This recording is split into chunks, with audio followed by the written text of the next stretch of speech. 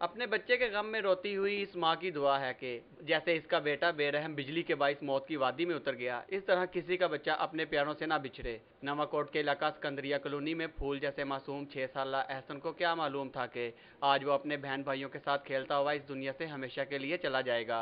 जुमा के रोज इस बदकिस्मत खानदान के तीन बच्चे अपने किराए के मकान की छत पर खेलते हुए बिजली की तारों से छूकर झुलस गए, जिसके नतीजे में एहसन मौका पर ही दम तोड़ गया।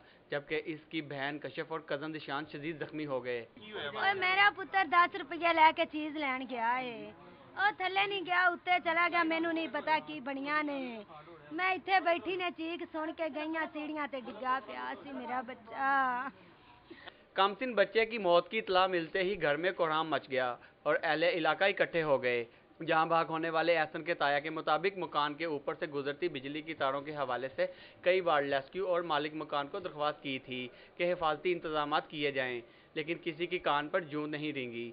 इधर मोहल्लेदारों ने बताया कि ऐसा ही एक वाक्य पहले भी पेश आ चुका है। लाहौर में ऐसी ऐसी तारें हैं जो कि बच्चों के लिए ये अब मेरा भती, भतीजा जो इस दुनिया फादी से जा चुका है।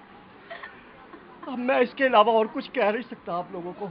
मैं क्या कहूँ आपको? कि मुझे कि इन लोगों को सिर्फ़ अपने पैसों की खातिर, अपने पैसों की खातिर छोटे छोटे कमरे बना के किराए पे दे दिए और ऊपर तारे न हैं और उनको सेव भी नहीं इन लोगों ने किया। पुलिस ने ज़रूरी कार्रवाई के बाद बच्चे की लाश बुरसा के हवाले कर दी।